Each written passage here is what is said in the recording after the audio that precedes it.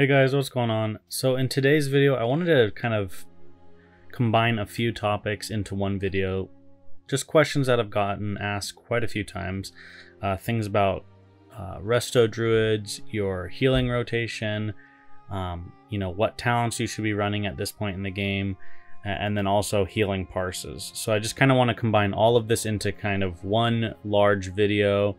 Uh, I'll provide timestamps right here so you can skip around to what is interesting to you. Uh, and we'll try and get through this video and hopefully you'll leave uh, having a little bit more insight when it comes to resto druids. Okay guys, I am recording this after I actually created this video. Uh, I didn't have any kind of script, so I just, you know, spoke from, you know, what I wanted to talk about, uh, my thoughts, all that stuff. So it's a little bit ranty, rambly. Uh, in terms of putting out timestamps, the timestamps are going to be roughly when I talk about it, but to be honest, uh, the whole video is just kind of rambling about healing and resto druids right now in Classic. So um, if you like that kind of style of video, um, feel free to watch. The, the video itself isn't quite as important, it's just some footage. So if you want to watch this in the background as you farm or um, you know do something else, feel free. Uh, but yeah, enjoy guys. So there's going to be three specs that you can run. One will be Moonglow and NS, and then there's going to be another which is Deep Resto, uh, improved rejuvenation, and then the last one that you could be running is um, Heart of the Wild NS. Now, to rank these, I would definitely put Heart of the Wild NS as the lowest and the least efficient um, healing spec that you can do. However, it is the most um, you know wide ranging spec. So it's great for you know when you get out of raid to go play your druid in other aspects of the game and not have to respec. So i personally am running heart of the wild ns right now just because healing in my raid at the moment matters so little uh, and i'll get into that in the video. Uh, but that's what i'm running right now so i can go out and do pvp and you know farm and have fun in the game outside of raiding without having to respec every single uh, raid lockout. Um, that's what I'm doing now. Obviously, when AQ comes out, I'll be running uh, a different spec. I believe I will be going Heart of the Wild, or I'll, I'll be going, excuse me, Moon Moon Glow NS. Um, that's just my personal uh, preference, but I'm going to dive into both of those specs uh, here now, so we can talk about kind of the ins and outs. So the reason I believe that Heart of the Wild NS is your lowest tier of healing specs, um, obviously you're not picking up the improved uh, healing. Now it's only 10% base heals, uh, but this does add up. Um, so that is one thing to consider. And also you don't have the improved uh, mana efficiency of your heals that you're getting in Moonglow from the balance tree. So your heals are actually costing more mana. Yes, you have a larger mana pool. So basically, uh, what's going to happen is the percentage of mana that your heals cost you should be relatively similar if you had Moonglow. However, um, your mana regeneration and your drinking time that it takes you to uh, drink to full between pulls is going to be longer. So you do have a larger mana pool, but your spells are more costly, and obviously it takes longer for you to regenerate that mana outside of combat and in combat. Um, so you're a little bit less mana efficient. Uh, now, this shouldn't matter uh, a huge amount. However, it is something that plays into um, how fast you can run uh, a raid. And then also if you're uh, taking longer on bosses and you're actually having to go through mana consumables, so things like uh, major mana potions or dark runes. Uh, these are actually giving you back a smaller percentage of your mana as you have such a large mana pool um, that when you take a healing potion, you know, maybe it used to give you uh, 30% of your mana pool back, and now with uh, Heart of the Wild NS, it's only giving you 20 or 25%. So these are all things to consider. I do think that Heart of the Wild NS allows, uh, you know, a great ability to not have to respec every week and enjoy the game fully. So if you aren't like a hardcore raider, I would suggest this spec if you like to go, you know, tank some five man dungeons in your free time or go out and do some PvP as Feral or anything like that. It's just kind of a well-rounded spec. So that's where I would put that into the, into the, the situation is kind of if you're looking for a more uh, full gameplay aspect with a with a druid, definitely go Heart of the Wild NS. Now, just talking of Heart of the Wild NS, of being kind of like a well-rounded spec. The next spec that is still fairly well-rounded and allows you to do a lot of things is, you know, a Moonglow NS. This is going to go deep down into the balance tree to pick up Nature's Grace and Moonglow, and then it's going to go into the Resto tree with the rest of your points. Now this will allow you to get reduced cost of your healing spells and also get that uh, chance on crit I mean, when you crit, you get a faster cast. So these things are going to benefit you, obviously, in raiding when it comes to healing, but also going down into the balance tree allows you to have a little bit more fun in PvP and also in PvE content where you're soloing. Uh, you're going to have a better uh, time soloing things when you're not like a deep resto build.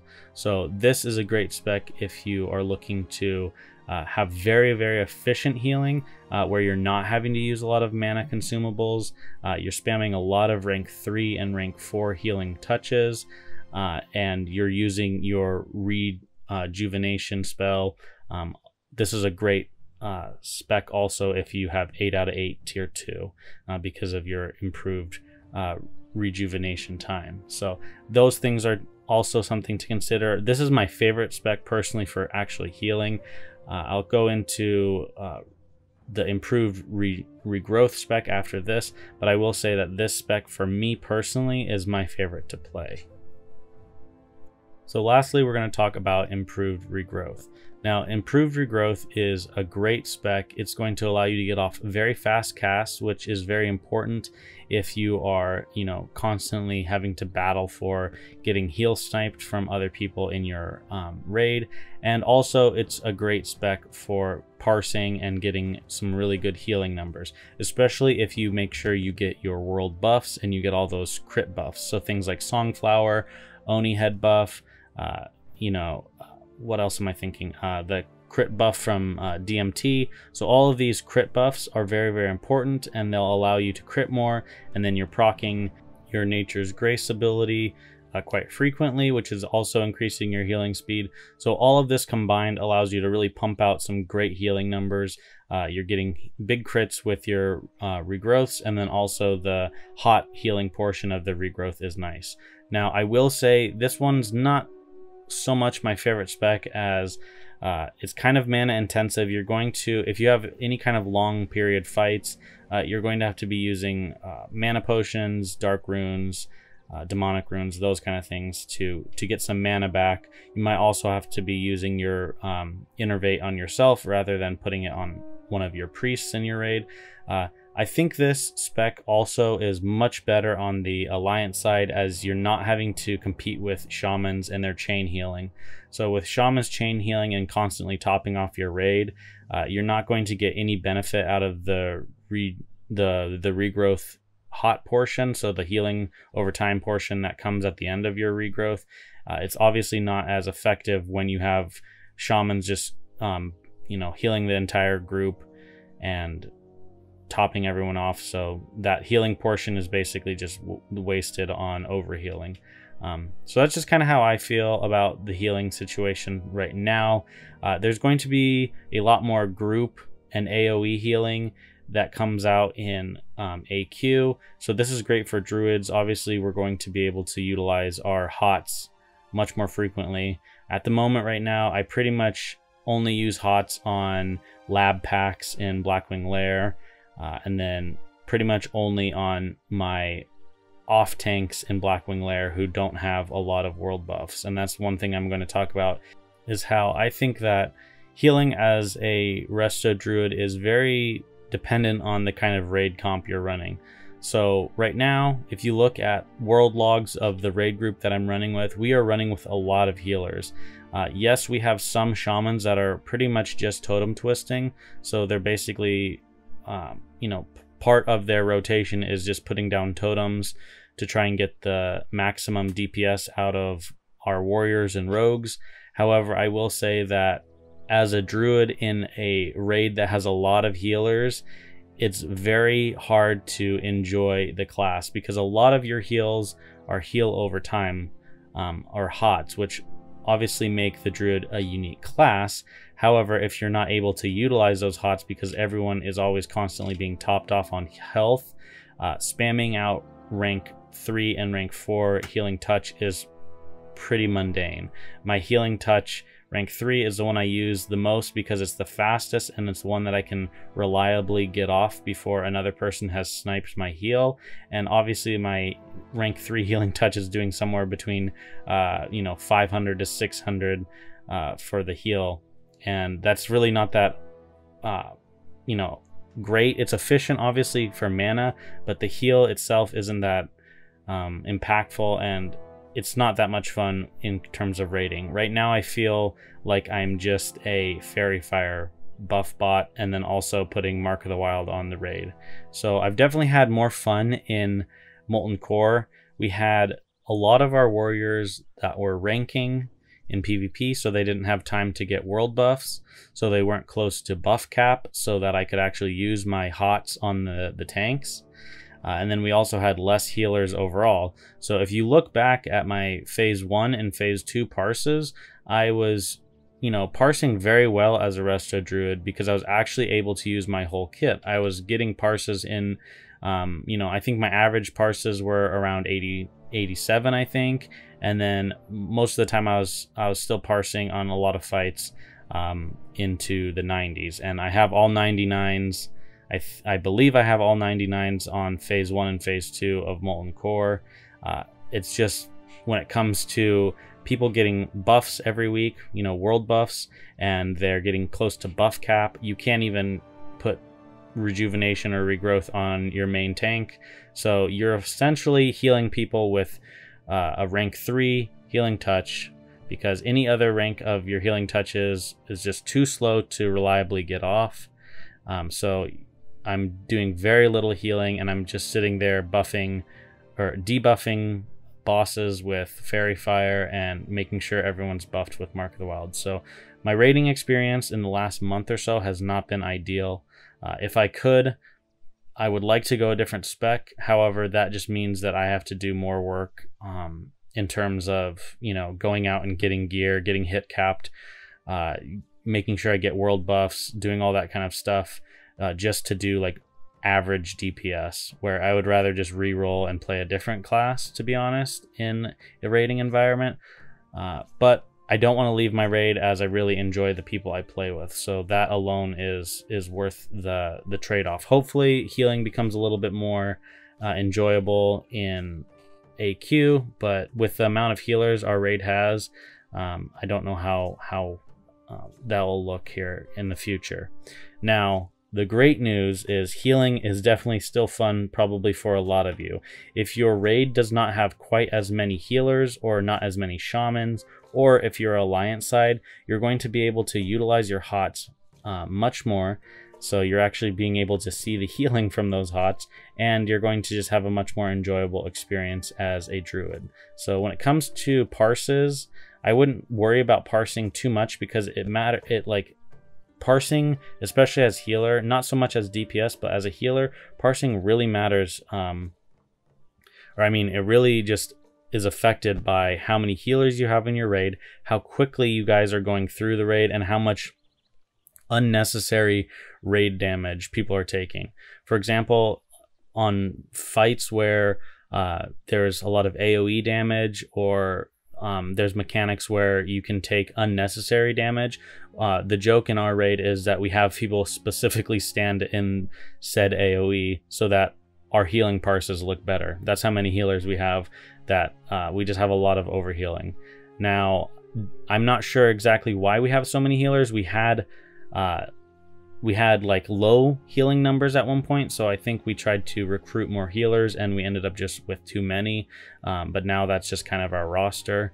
Uh, it all it obviously makes it nice because we have very few deaths uh, when we raid, but this really will affect the, how much fun healing is as a druid, as your healing spells, the casted ones are quite slow, and your hots, obviously, if you're just getting them overhealed, it's it's not much fun either.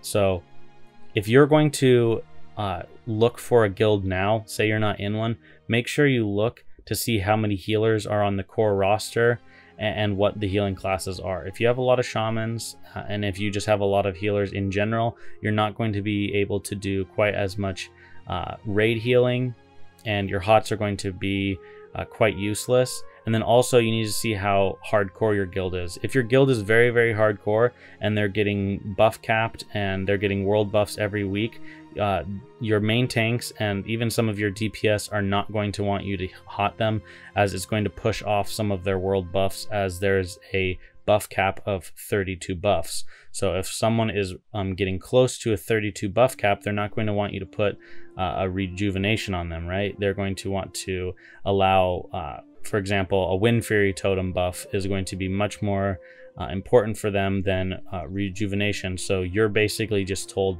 not to heal them uh, with hots, which obviously makes sense, but it makes the experience as a druid uh, not that much fun because they're a fish they're basically taking away some of the abilities that you have in your kit and you're not really even allowed to use them. So those are all things to consider when it comes to um, raid healing uh, what spec you're going to play uh, what kind of group you're going to join you know in terms of running with a guild and whether or not you want to have like a hardcore raiding experience or you'd rather just kind of have more of a casual one.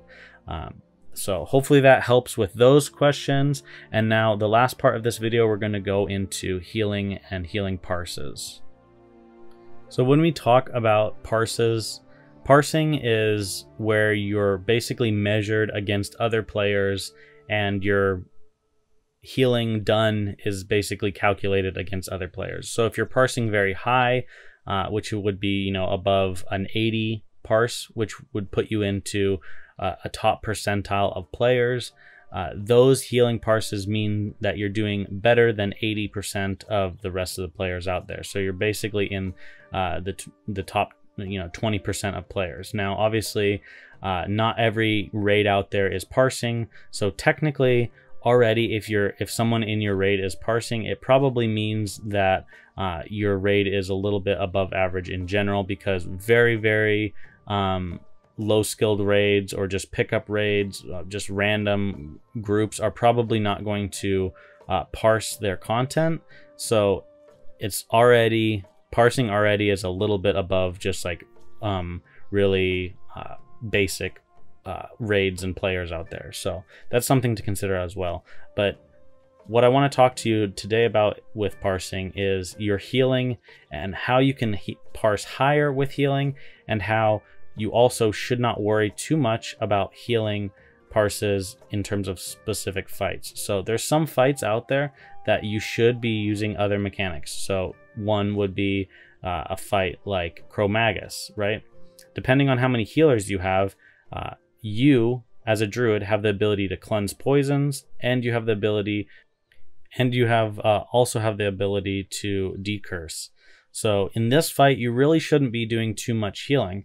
Uh, it would be a great idea to just keep your hots up on the tank if you are able to. As I said, uh, if the tank has a lot of world buffs and doesn't want you to hot them, then again, you're basically just going to be uh, decursing, uh, cleansing, all that kind of stuff.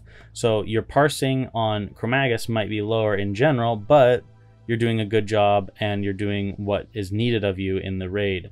Um, these are things to consider. Now, if you are looking to just parse as high as possible, my suggestion is to kind of look at the fight and look at the mechanics. So if you know that a uh, fight requires a tanking mechanic where another off tank is going to pick up threat from the main tank, what you can do in this situation is precast a regrowth right before you know that tank is going to, or the, the boss is going to make a switch onto the off tank.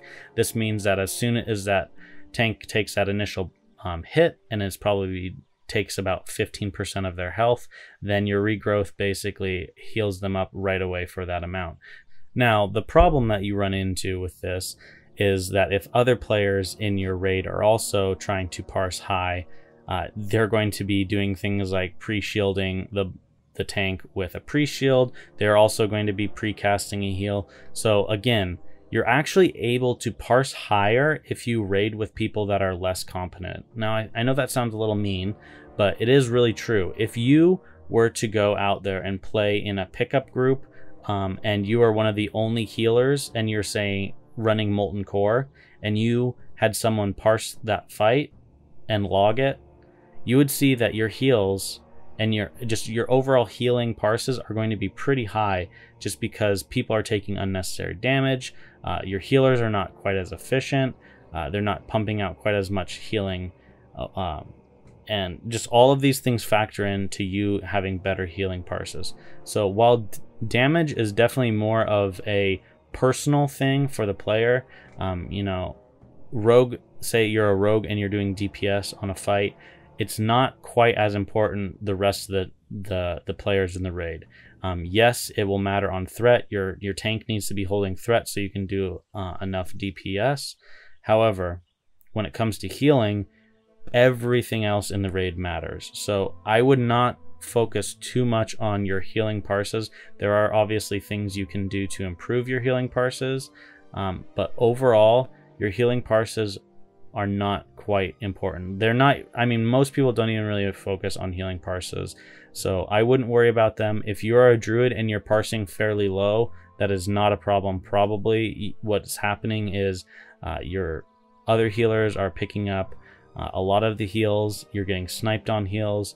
Uh, and just know that as a druid, the main thing you're there for is Faerie Fire, Mark of the Wild, um, your battle res, and also just because you're there to soak up some of the loot, to be honest.